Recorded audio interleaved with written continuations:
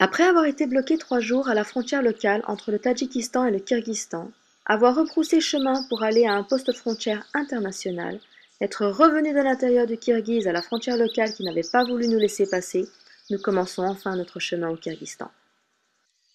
Bonjour, bonjour, nous sommes le 25 juillet.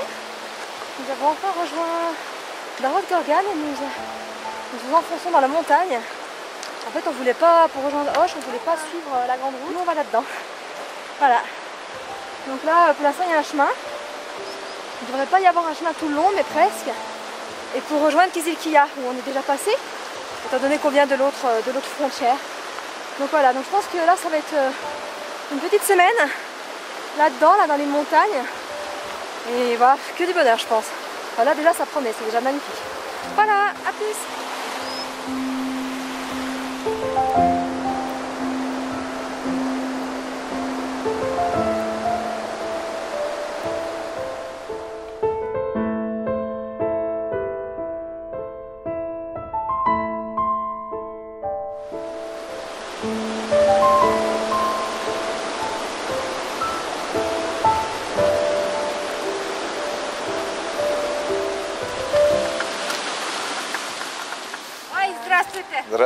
Хорошая погода. Хорошо.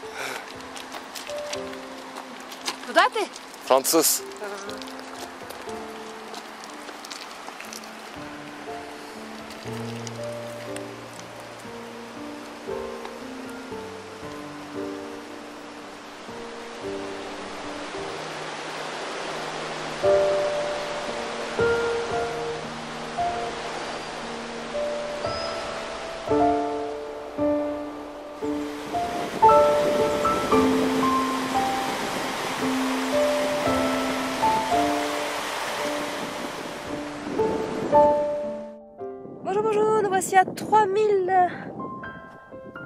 3673 mètres. C'est juste magnifique, tout autour de nous. On en a un petit peu bavé parce qu'on a les sacs qui sont lourds, on a, on a prévu un petit peu de nourriture. Parce que là, on, là, on va être euh, sans village pendant... Ça fait déjà deux jours qu'on monte là, donc pendant peut-être quatre jours. Donc on a pris un peu de nourriture, donc les sacs sont un peu lourds, on en a bavé un peu. Mais un chemin de rando, juste magnifique qui est en fait uniquement emprunté par des, par des gens qui viennent euh, garder les vaches ici pendant, l'été. On a vu deux petits, deux petits campements. Et là, normalement, on redescend dans la vallée derrière moi. Donc là, déjà, c'était super, enfin devant moi plutôt maintenant. Et tout autour, c'est juste superbe. Superbe, des montagnes, des collines, des, tout ce que vous voulez en fait. Des, monts enneigés là-bas au fond. Ah, c'est superbe! C'est superbe, c'était vraiment pas très compliqué. Et là maintenant, normalement, bon bah là je vais pas la voir, mais normalement on va redescendre à une route carrossable et resuivre une autre vallée et euh, peut-être dans un ou deux jours atteindre des villages. Donc c'est vraiment, c'était vraiment ça. Vraiment juste une portion où bah faut savoir un peu où on va parce qu'il y a plus de chemin à vache, mais euh, sans difficulté pour voir des paysages comme ça. Allez, je vous fais un tour d'horizon, mais c'est vraiment magnifique.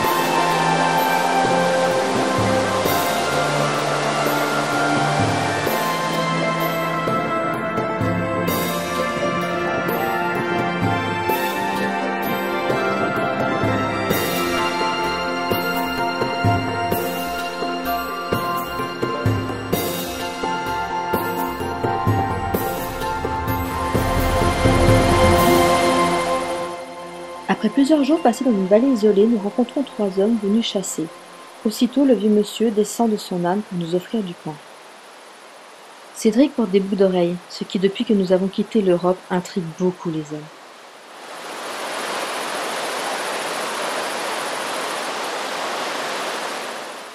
Ce petit geste du doigt que l'on fait claquer sur la gorge est une incitation à boire de l'alcool.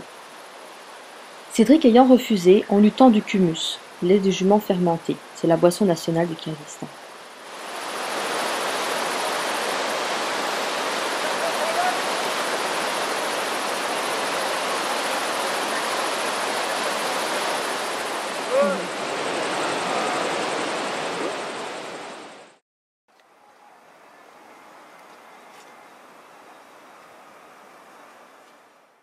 Plus tard, nous retrouvons enfin les premières maisons. Une vieille dame nous invite à boire le thé.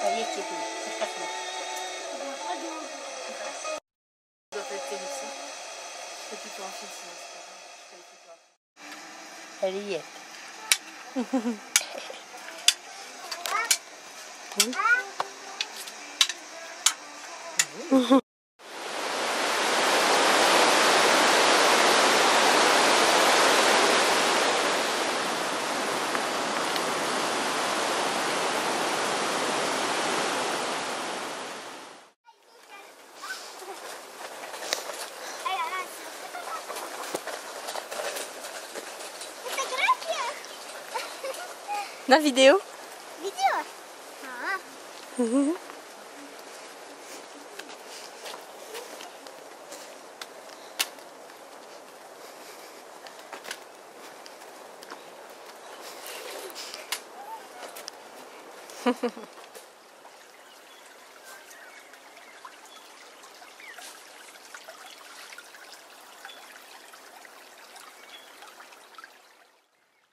Il n'y a pas d'eau courante à l'intérieur des maisons au Kyrgyzstan. Tout se fait donc avec des seaux et des bassines.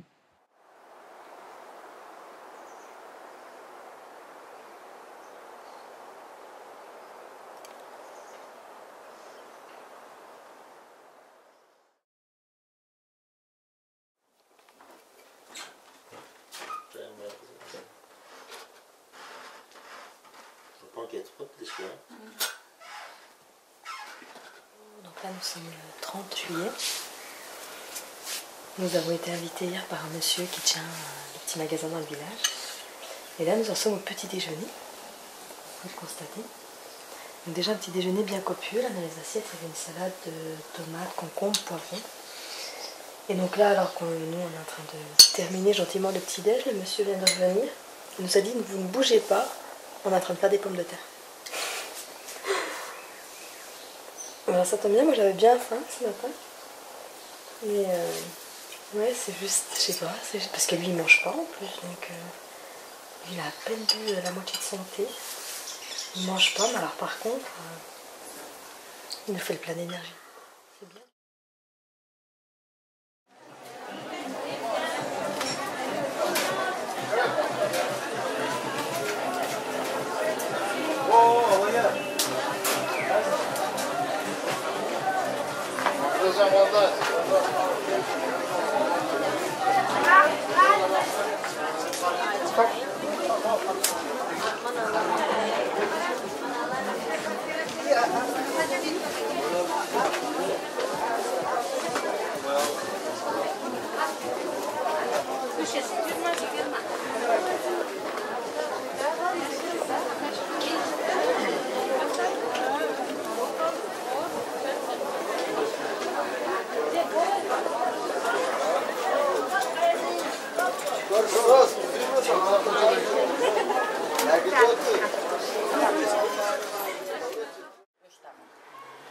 Rahmat.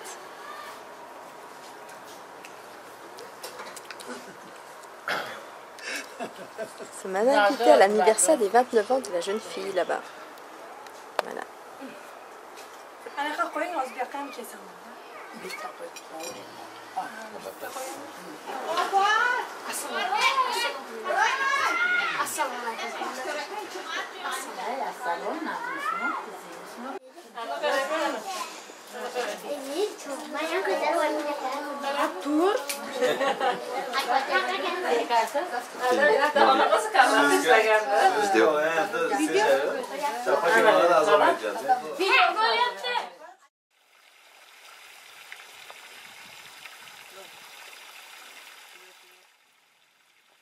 Nous avons repris la route le lendemain et fait encore de bien belles rencontres, pleines de surprises.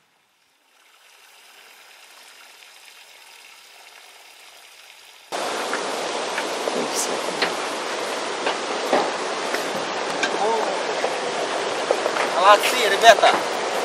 Когда вышли на дорогу? Armat. На дорогу когда вышли? По-русски знаешь, да? Мало. Мало. А, 아, 또다 다른 강남 의쇼. 지수가. 히시컴, le sud est en train de décoller. Là, tous les Avec son fils.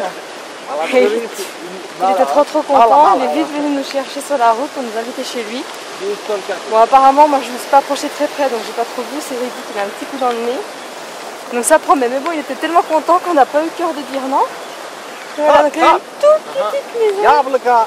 Яблоко. toute petite petite, c'est trop Вишня, mignon. черешня. Мой дом вон там. Куда, куда там? Дом там. Там, ага. А, здесь. Là c'est la petite maison de jardin. Сад. Я, я.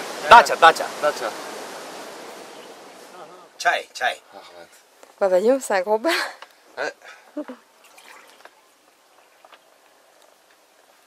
Чай. Ahmed. Базарга. C'est Ça.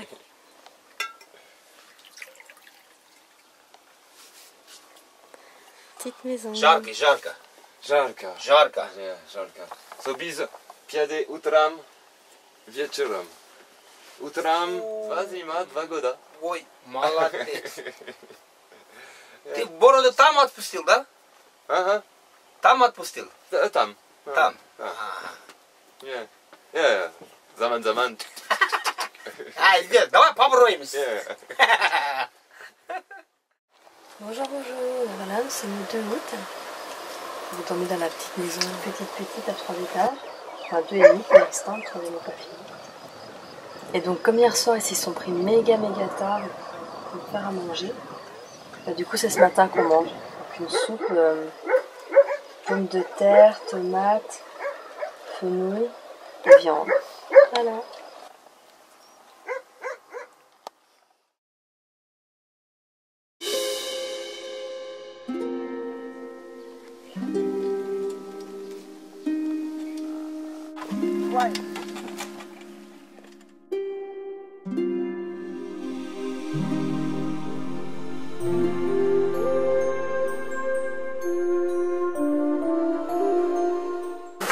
Euh, ben voilà, comme hier soir, hier soir, on l'a dans un champ tout trempé.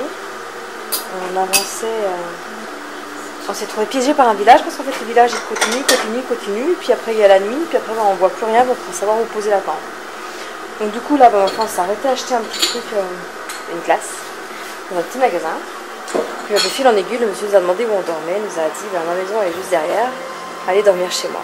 Voilà. Donc, il est toujours au petit magasin. Et là, une jeune fille qui doit être sa, belle-fille nous, nous prépare à manger, pastèque, petite soupe. Enfin voilà, trop bien.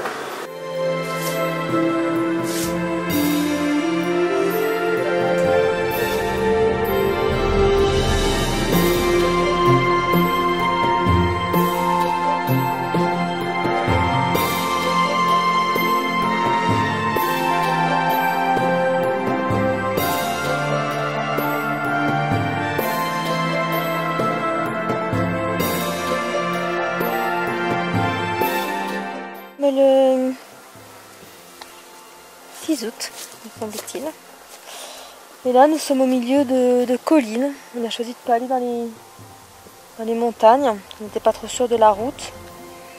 Et puis bon, mon, Mon Google Earth c'était pas très très clair, donc euh, on a décidé de suivre un petit chemin qui est quand même carrossable, hein, avec un tracteur je pense ou un 4x4, pas de problème. Et donc du coup on se retrouve au milieu de la vallée, au milieu de la vallée, au milieu des, des collines. Et là ils sont en train de faucher un peu partout. Et donc c'est magnifique parce qu'il y a plein plein de fleurs différentes, de toutes les couleurs, c'est juste super. Et devant nous là-bas la montagne derrière laquelle on aurait dû passer normalement. Et donc voilà, par contre là on, on a chaud.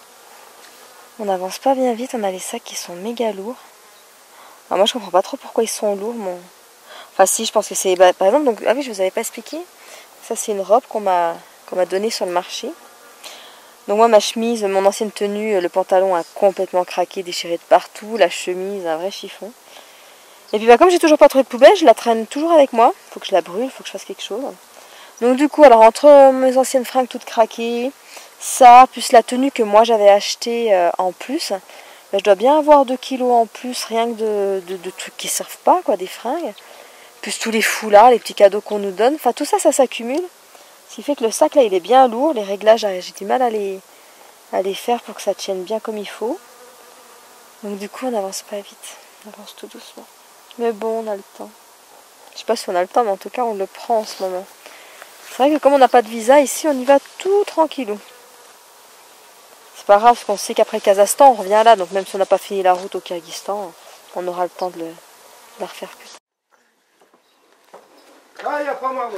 Здесь поставьте. Сюда.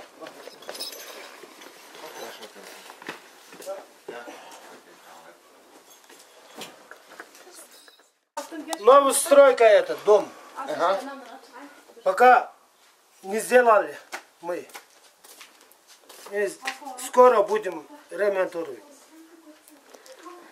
Айнек поставим. So, aha. No, no, nowa? Да, Nie. Aha, aha. E, хорошо. Солнце нету. да. Voilà, là c'est super, on a invité à prendre le thé.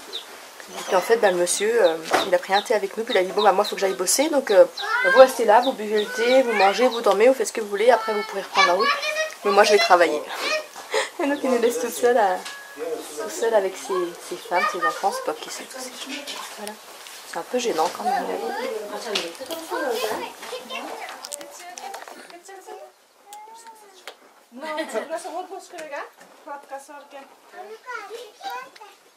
До свидания. До свидания, Ахмед. До свидания. Bonsoir.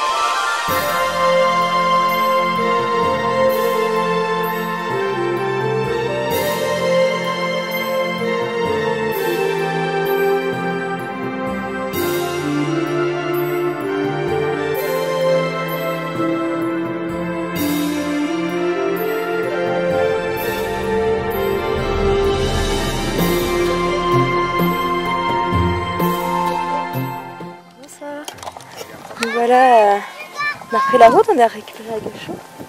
Et là, c'est notre première invitation dans une yourte. On est content. On a déjà vu l'intérieur d'une yourte chez notre ami hier. Et là, on est vraiment invité par euh, les nomades à aller dedans et à boire le Два года пешком, а? из Франции. И дальше тоже в Франции, до Франции. Batum Bishkek, Almaty, А, а Бишкек, Алматы. Batum Kitaï, Batum Mongolia. Только пешком. А граница отпускать граница как? Граница паспорт. Все документы. Все документы есть, да? Kyrgyzstan visa нету. Только тампон, ETI. Никакая. а. And Ouzbékistan, Tadjikistan, Kazakhstan, visa. Виза. Passeport de visa. Да. Aha, aha, okej. Каждый год.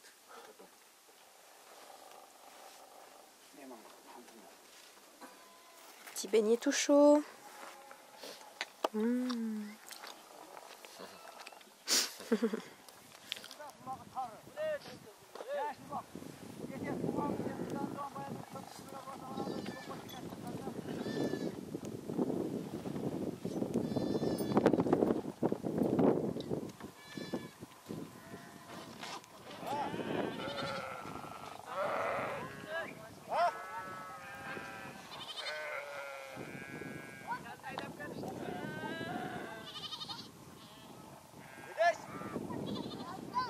Ocağın akirdi.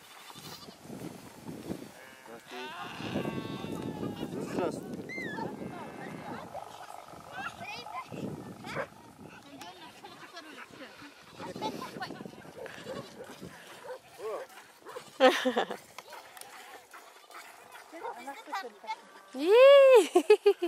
Расаным болды işte. Бер тегін. Мына мына көрсетіп. Қара, бері қара, бері қара. Сен.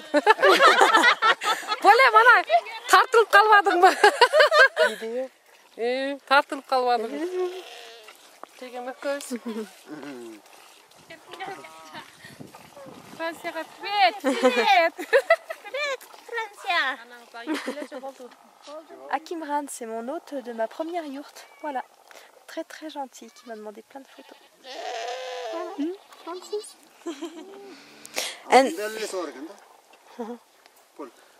Dalile sorganda. Pol. Mına şu dalige çöp çapkanı şu alışında ne alış gerek.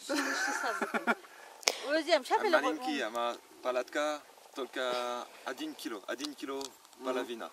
Ne dedi lan? Один kilo. Yarım kilo. Şu yarım kilo kem var. Mına şu palata. Öte sonra gende. Yemeğe Afar alma. Derdim ana tatlı da ne yaptın? Namin. Çıklasın, çıklasın. Çıkmasın, çiğniyorum. une dame, qui- là il pleut. Et Il y a une dame dehors qui est venue, euh, qui est venue nous apporter à manger dans notre tente. C'est trop gentil. Voilà. Des tomates, du.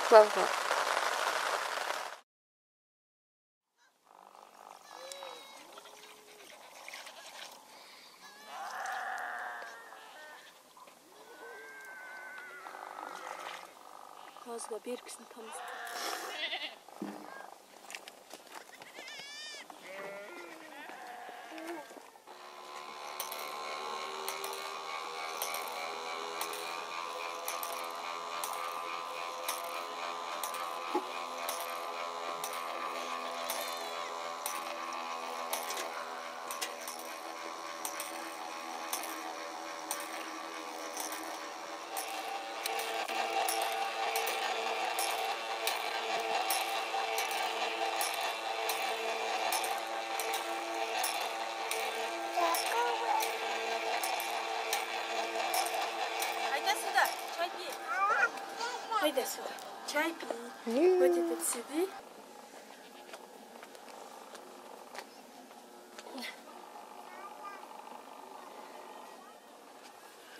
C'est pourquoi il y a du vent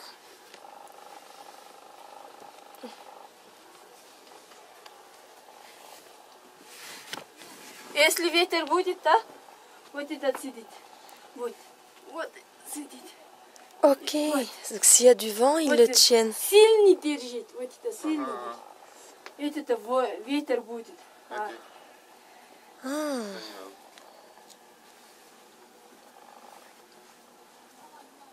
не будет, вот okay. сидеть.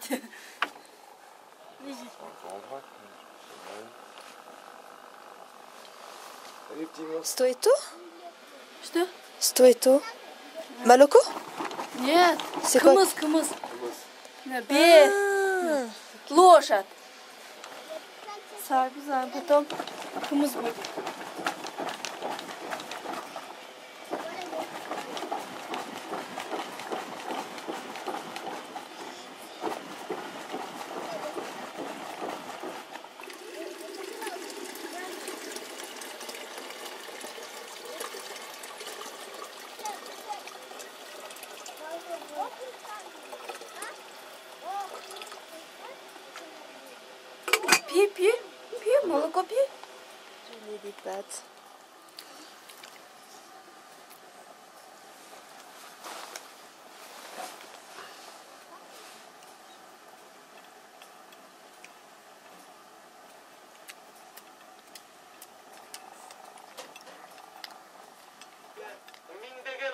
Hatmül Kur'an okuldu. Memleketimizde 53 Hurmatlı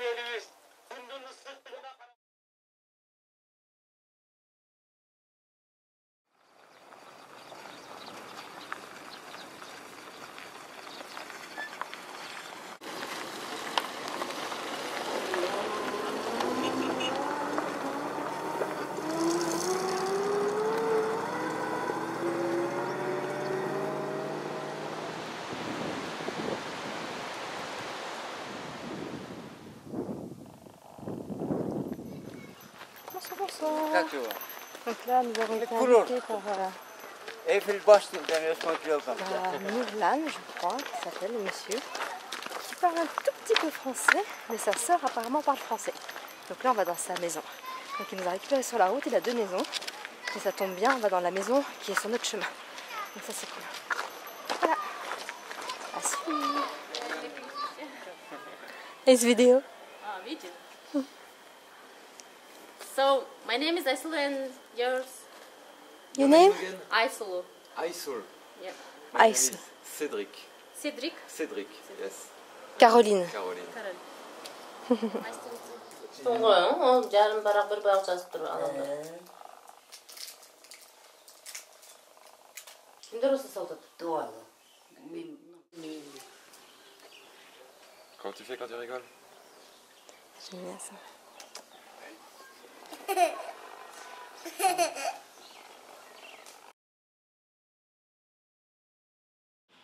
L'un des seuls endroits touristiques que nous ayons visités au Kyrgyzstan est les trois mausolées de Uzgen, un bâtiment plus que magnifique de par son architecture.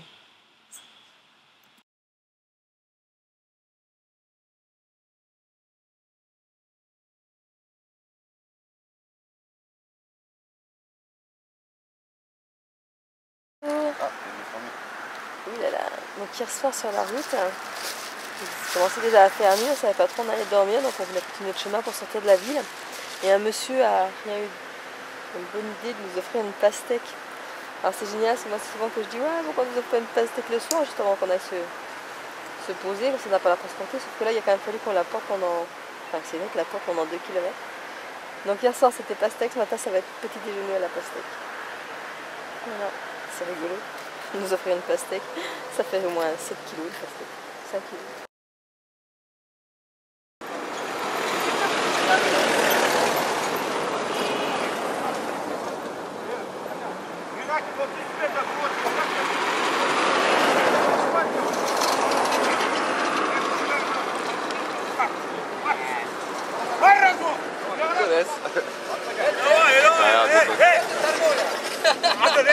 Ça négocie sévère là. Apparemment, ils sont pas tout à fait d'accord. Ils ont bien du mal à clore. Alors, alors Ça va conclure, pas conclure Les négociations sont dures.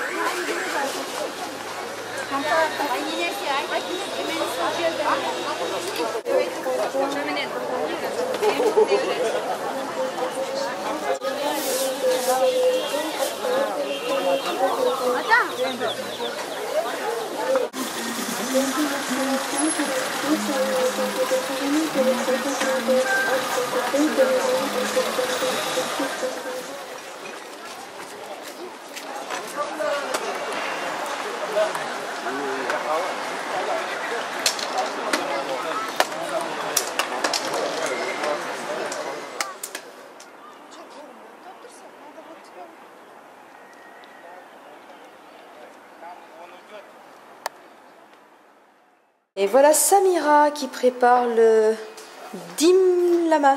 Yes, Dumlama. Dim lama Dumlama. Dim lama. Qu'est-ce que c'est le dim lama What is it It's um, beef with a lot of uh, vegetables. It's very tasty. Uh-huh, great. Они вас не слышат. Bonsoir, bonsoir. Ben, ça y est, nous avons repris la route après une petite pause de, de 5-6 jours à Hoche. On a repris la route ce matin, sans trop de difficultés en fait pour retourner en autostop là où on s'était arrêté. Et là, apparemment, il y aurait, euh, il y aurait un orage qui se préparait au loin. C'est assez noir. Alors c'est rigolo parce que le jour où on avait quitté cette route là, il pleuvait déjà. Donc c'est rigolo de revenir et de se retrouver encore avec la pluie. Et là, foi, on était sur la route, on vient d'être invité à une dame justement bah, se, se reposer chez elle et dormir ici. Parce que justement, il risque de pleuvoir, donc comme ça, elle sera sûre qu'on sera à l'abri. C'est super gentil. Voilà, donc on va dormir là derrière, à la petite maison là. Bonjour, bonjour, nous sommes le 20, le 20 août. Et là, on vient de se lancer dans l'idée d'acheter un petit âne pour, euh, pour faire ce mois, pour aller jusqu'à Bishkek, comme on va traverser pas mal de montagnes. Et que nos sacs sont super lourds. Et moi, je suis super fatiguée. Donc, du coup, on vient de demander dans ce village. Et le monsieur, est parti pour voir euh, la son âne, je suppose, pour éventuellement nous le vendre. Alors, on sait toujours pas le prix. Fait on discute, on discute. Je pense que comme on est touriste, on aura le droit à un prix de touriste. Mais, euh, voilà, pourquoi pas. Ça pourrait être une bonne expérience. Essayer un petit âne. Voilà, donc ma foi, on attend. Et voilà, nous avons fait l'acquisition d'un petit âne. Une femelle.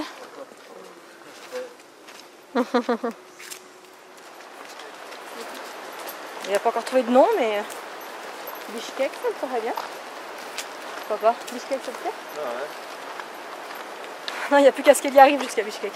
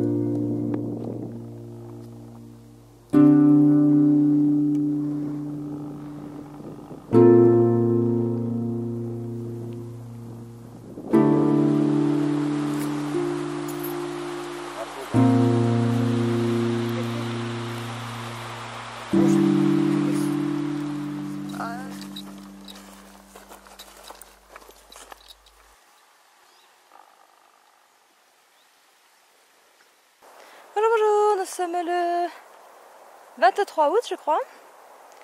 Et donc là, on vient de rattraper un espèce de. ancienne route, je suppose, après avoir fait un petit peu dans la pampa. Mais bon, on a réussi à trouver un petit chemin de berger. C'est juste magnifique ici, c'est superbe de partout. C'est poids, c'est grandiose. On n'est jamais seul. Il y a des bergers de partout, bientôt ils s'en vont. Fin septembre, c'est fini, tout le monde rentre. euh, Fin septembre, début septembre. Dans une petite semaine, tout le monde va commencer à quitter les montagnes. Pour l'instant, il y a encore du monde de partout, c'est chouette. Et donc on est toujours avec notre petite Anne. Évidemment, elle s'appelle pas Bishkek, mais Paresse. Non, elle avance, elle avance pas trop mal, on n'a pas trop à se plaindre. Ce qui est super, euh, agréable, c'est que on a quand même gardé nos sacs hein, sur le dos. Mais d'avoir euh, les 5 kilos de moins, en fait, toute la bouffe et toute l'eau, on lui a donné. Donc on a vraiment que le matériel, donc moi je dois être à peu près à 16 kilos. C'est que du bonheur. C'est trop génial. On ne se fatigue pas du coup. Du coup, on marche, on marche. Et moi, avant, à chaque fois, on marchait, je m'arrêtais, j'avais juste envie de dormir. Que là, maintenant, en fait, non, c'est juste fatigue normale de, de la marche. Mais non, c'est génial. C'est vraiment super. Et derrière Cédric, là-bas, c'est juste magnifique.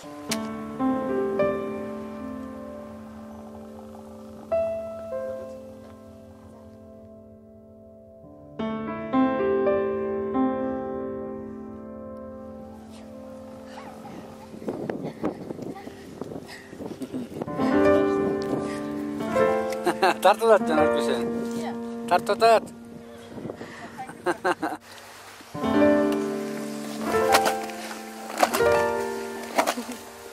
Yine yarışıyor.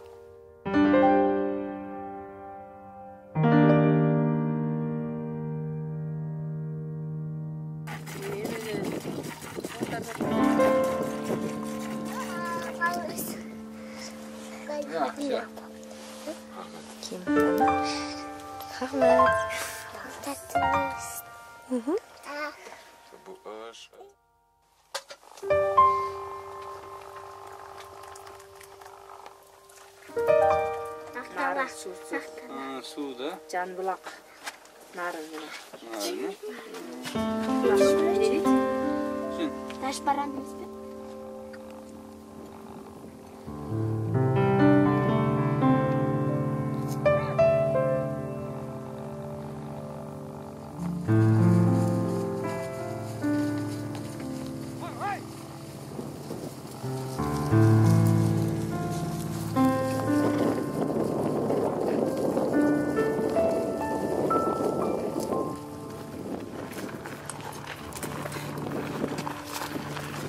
Et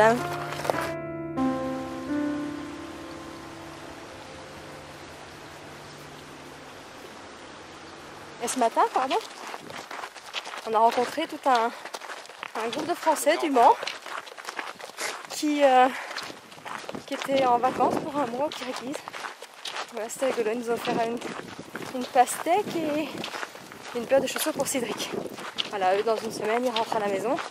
Comme Cédric, ses chaussures Salomon sont trop petites, voilà, si celle-ci celle craque, au moins il en aura une de rechange. Celles-ci sont en vraiment mauvais état. Voilà. Donc merci les gens du Mans.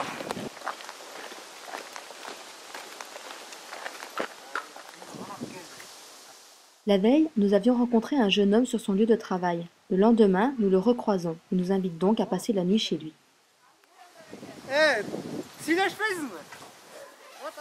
살을 깎았어.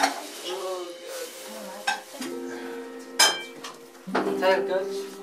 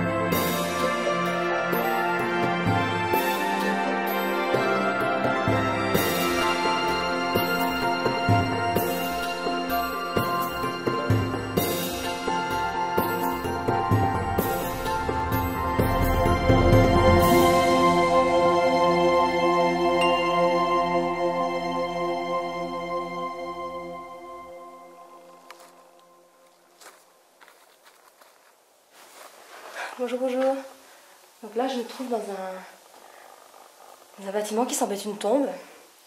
Deux tombes, une autre de l'autre côté là-bas. Et alors, au vu de, de la configuration du, du bâtiment qu'ils ont construit autour, belle, j'imagine que c'était des gens très importants.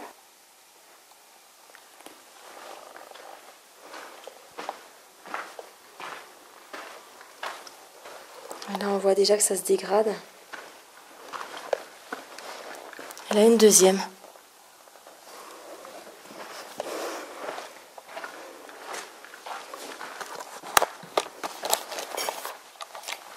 Ça fait quelques temps dans cette région qu'on voit des tombes qui sont super originales. Ça fait des, c'est, mais c'est des petits bâtiments. Celui-là à côté est dix fois plus gros, dix fois plus grand. Et en fait, les gens, bah, je pense que c'est selon leurs moyens, selon l'importance des gens, construisent soit des tout petits. Et on en a vu des qui dataient de une quarantaine d'années, avec des fresques dessus euh, représentant des scènes de chasse. Ou... C'est, c'est très intéressant.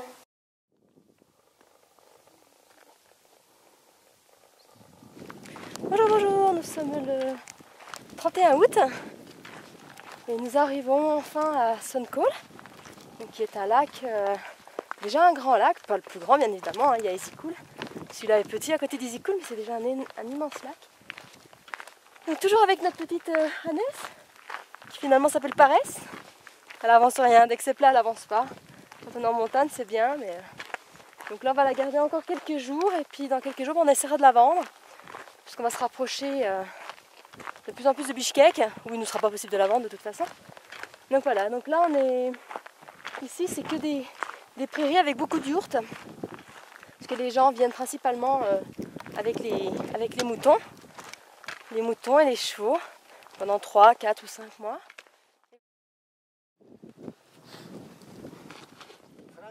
Nos premières invitations sur ce plateau ne tardent pas. Nous voilà invités à prendre le thé dans une yourte.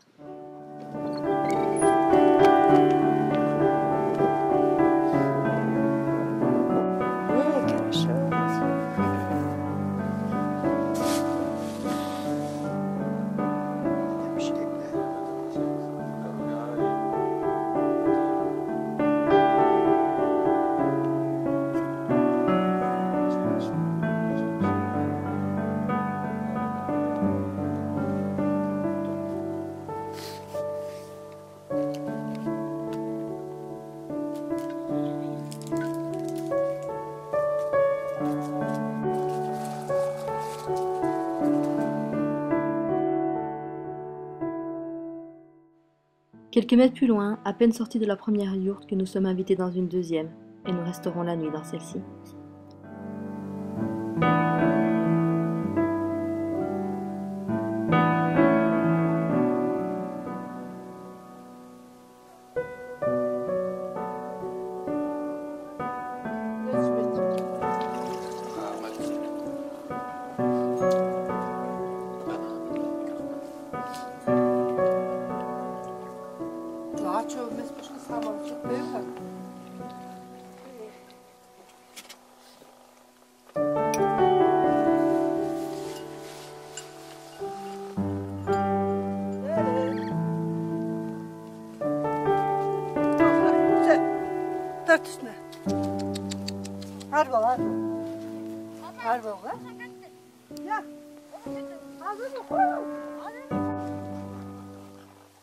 Bonsoir Et ben voilà, nous sommes toujours le 31. Donc là, ça fait déjà deux fois qu'on est invité euh, dans cette grande plaine, c'est magnifique, donc euh, juste à côté du lac de Kizilkia. Pas Kizilkia, qu'est-ce que je raconte? Suncall. Donc Suncall, donc le lac est juste là-bas. Et là, c'est la deuxième fois qu'on est invité dans une yourte. Et c'est très marrant parce que les yourtes ici sont très les yurts, en fait, il y a un code normalement dans les yurts. Et ici, on a remarqué que toutes les yurts bah, respectaient ce code forcément. Donc moi, je ne les connais pas trop, j'avais lu quelque chose, mais on remarque que, par exemple, l'horloge est placée au même endroit dans toutes les yurts. S'il y a l'électricité, c'est placé au même endroit. Et là, c'est la dame qui nous va. Jak was zavut Ginare. Ginare. Ginare. Voilà, donc euh, Ginare, elle nous a invités ce soir à dormir à l'intérieur de la yurte avec tout le monde. Donc là, il y a un petit poêle qui chauffe, parce qu'elle a peur qu'on ait froid en fait. Et donc, c'est la première fois que je vais dormir dans une yourte, et avec toute la famille, c'est super chouette. Voilà.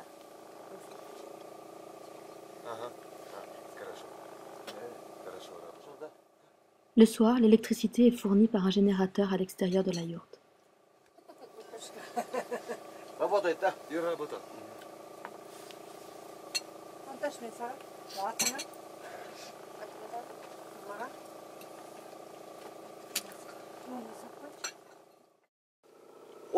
Yeah, watch, watch. Not, well, yeah, Vol Run. Up.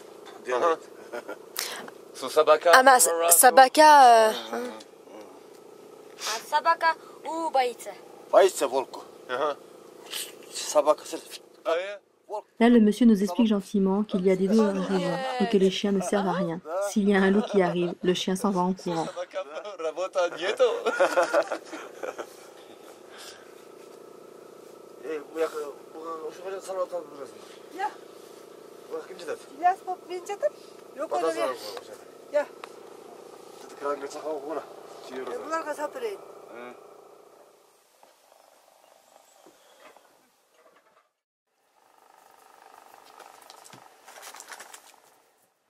Le mari est pêcheur. Le lendemain au petit déjeuner, nous avons donc le droit à du poisson.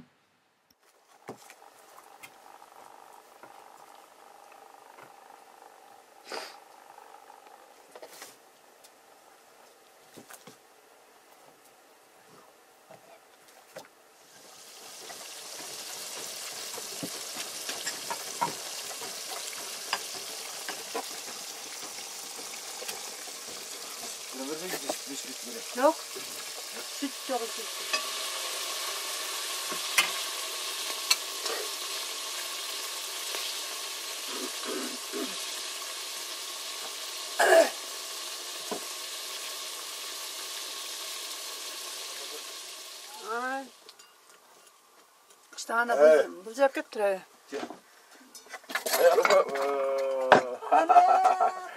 Böyle bu. Çay mı koyuyorsun? Çorba. Çorba. İşte kahvaltı. 지금 그때 거의 못 먹겠 다. 뭐 수도 못 잡은 게는 뭐지 지금 거 니? 차이래 내 서. 아 그래 나도 줄 여. 내가 가라도 내가 가라도 다 와서 가라 봐. 알아도 가라 봐.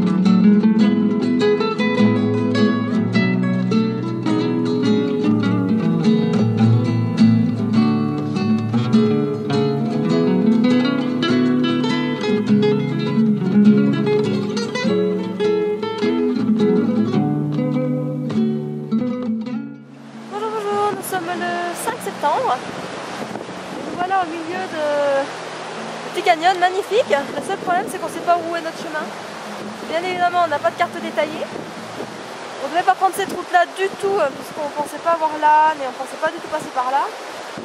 Donc du coup, on n'a pas de Google, on n'a pas de tracé, on n'a rien du tout. On y va un peu au feeling. De temps en temps, il y a des cavaliers qui passent, c'est cool, mais sauf que là, il n'y a personne qui passe, il y a un orage qui se pointe. Et nous, on sait toujours pas où on va. On passe de super chaud dès qu'il y a le soleil à la sacaille. Mais bon, en tout cas, c'est magnifique. Voilà, c'est au milieu de petits comme ça tout autour de moi. On a toujours notre petite euh, Agnès avec nous. Plus que bah, 4-5 jours, quoi, le temps d'arriver à Tokyo. Bah, on va la vendre là-bas et après on va à Bishkek. Voilà. Donc là, croisez les doigts pour nous. J'espère qu'il va pas. Il tombe 2-3 gouttes, j'espère qu'il va pas avoir un gros orage. Ah ouais, c'est pas très joli en tout cas le ciel. Ouh.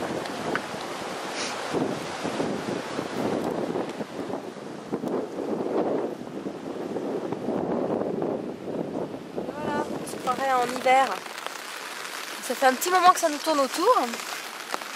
Mais ça y est, ça a fini par tomber. Donc là il pleut, on a monté le tard. On est un petit peu dans le désordre général. On s'est déjà chopé un petit coup la pluie euh, il y a quoi Il y a 2 km, on avait déjà monté la tente, ça s'était vite arrêté. Et puis là en fait on a décidé de rester là pour la nuit parce que là on va commencer à monter sur un col. Et on ne veut pas l'attaquer maintenant parce qu'après on pourra plus poser la tente. Et en fait on a bien fait puisqu'à 5 minutes près euh, la pluie commençait à tomber. Donc voilà. Depuis le temps qu'elle nous guettait cette pluie, déjà au lac, euh, à son col, on la voyait déjà au loin. À chaque fois, elle nous tournait autour et on n'avait jamais eu de pluie. Là, ça y est. J'espère que ça va pas durer 10 ans. À suivre.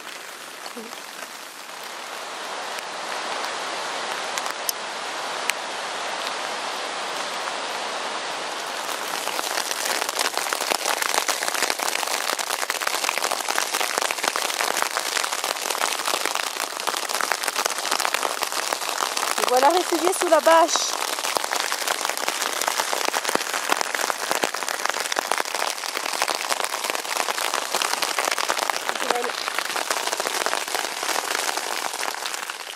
Ça va pas durer longtemps, mais assez pour nous tremper. Donc c'était pas de la neige, c'est de la grêle. Mais assez pour blanchir les montagnes juste derrière moi là-bas. Pas si on voit bien. Et puis assez pour nous tremper quoi surtout. Donc s'abriter comme on peut sous ma bâche là, sauf que ma bâche elle est plus du tout étanche. Donc on est juste trempé quoi. Là ça se calme. Ça dure pas longtemps mais voilà.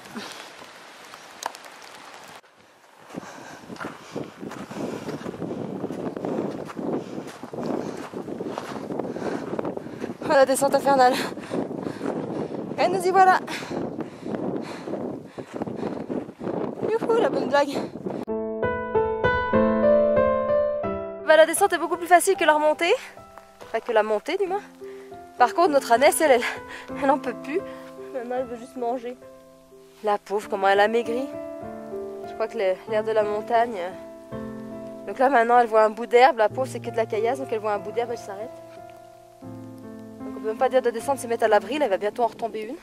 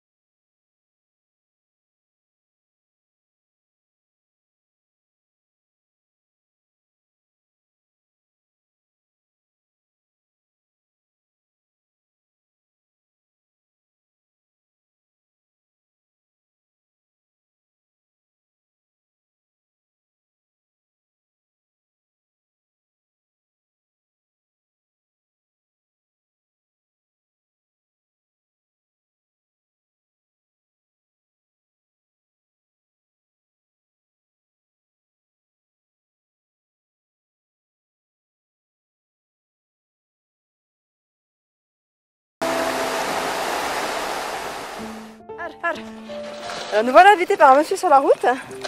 Donc du coup il a embarqué Cédric dans la voiture. Il a dit au petit tu montes sur l'âne.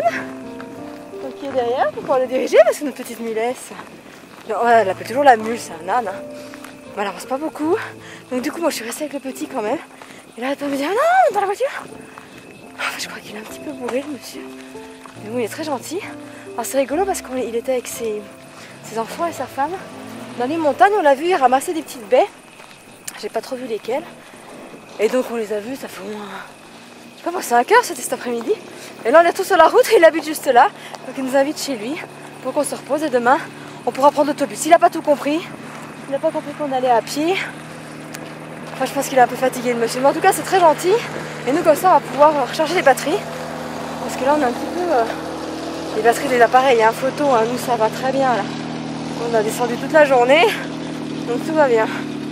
Mais donc voilà, c'est un peu cool. Et en même temps, on va pouvoir se renseigner comment et où on peut vendre notre petite ânesse. Voilà, à suivre.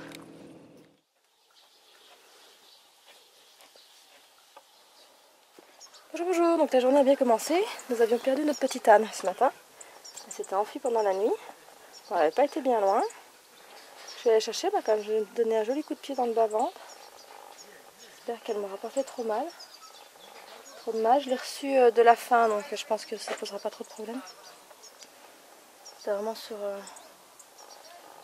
j'étais- un peu loin d'elle, donc, euh, je pense que ça ira. Ça m'a pas fait énormément mal. Mais quand même, putain, la puissance. Cette bourrique. Bon ben, alors là, on est un peu dégoûté parce qu'on vient d'apprendre que euh, ici, les ânes, ça coûte 4 fois moins cher que là où on l'a acheté. Donc on va forcément y perdre, ça c'est sûr. Alors que je pense qu'on aurait pu y gagner parce qu'on avait quand même fait euh, baisser le prix à fond et taquet. Donc, euh, donc voilà, donc en fait, euh, cette bourrique, elle nous en aura donné du, fil à retordre.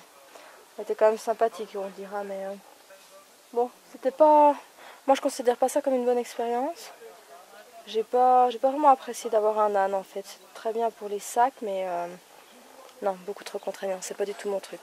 J'admire, euh, j'admire Morgan et David qui voyagent avec deux ânes. Moi, c'est pas du tout, pas du tout mon truc. Voilà.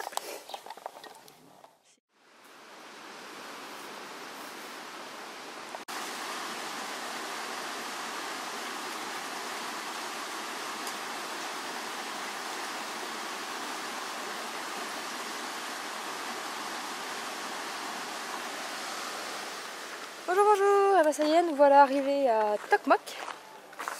Et alors on est bien embêtés parce que le marché c'était hier mais pas aujourd'hui. Alors c'est pas tous les jours, c'est que deux jours par semaine. Et donc là bah, maintenant on est bien embêtés pour vendre notre, notre âne. Donc là, bah, ma foi, on fait des petites rues, on en parle à tout le monde. Mais personne n'a besoin d'un âne quoi. Donc déjà au bazar, c'était déjà pas dit qu'on arrivait à la vendre, mais au moins il y avait des gens qui venaient pour acheter des animaux. Ici, ben voilà, hein, personne personne n'a besoin d'un âne, donc euh, je sens que ça va être compliqué. Mais bon, ma foi. On laisse la mule ici, notre petite Anèche et le monsieur qui nous l'a acheté. Voilà. Donc on y a juste perdu 1000. Et là voilà la nouvelle mule. Voilà. Maintenant les mules c'est nous. Donc là on a récupéré nos quelques kilos en plus qu'on a laissé au monsieur, qui je pense est gentil. Et voilà, qui est fermier. Donc la petite mule est là-bas. là-bas. Donc on y perd 1000, euh, 1000 sommes par rapport à ce qu'on avait prévu, mais bon. Par rapport à ce qu'on l'avait acheté, mais c'est très bien. 500 par rapport à ce qu'on avait prévu. Ouais, 500 par rapport à ce qu'on avait prévu. Voilà.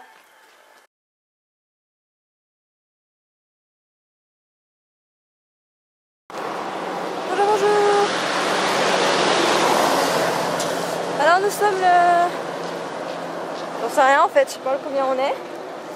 Et là aujourd'hui on a décidé de laisser les sacs à Bishkek et de, de venir jusqu'à la frontière pour se renseigner un peu de comment ça se passe en termes de renouvellement de visa et euh, de pénalité si on dépasse euh, notre temps. Parce que bien évidemment, nous sommes arrivés à Bishkek il y a deux jours et l'ambassade du Kazakh est fermée. Elles ne pas avant lundi parce que là il y a un haut sommet. Et comme euh, le cortège, tout ça, ça passe juste devant l'ambassade, ils ont fermé. Et donc nous on a un petit peu peur que lundi ça prenne trop de temps.